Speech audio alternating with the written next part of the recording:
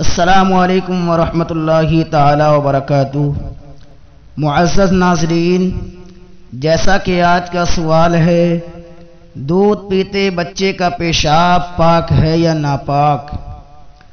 تو اس کا جواب یہ ہے، کچھ لوگ سمجھتے ہیں کہ دودھ پیتے بچوں کا پیشاب پاک ہے۔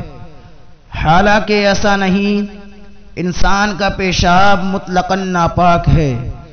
خواہ دودھ پیتے بچوں کا ہو یا بڑوں کا۔ فتح رسبیہ جلد دوم صفحہ نمبر ایک سو چھیالیس۔ سوال نمبر دو، کیا بچے کو دودھ پلانے سے عورت کا وضو ٹوٹ جاتا ہے؟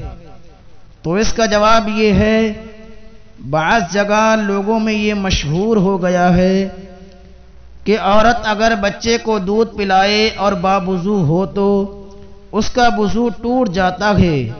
یہ ایک غلط بات ہے۔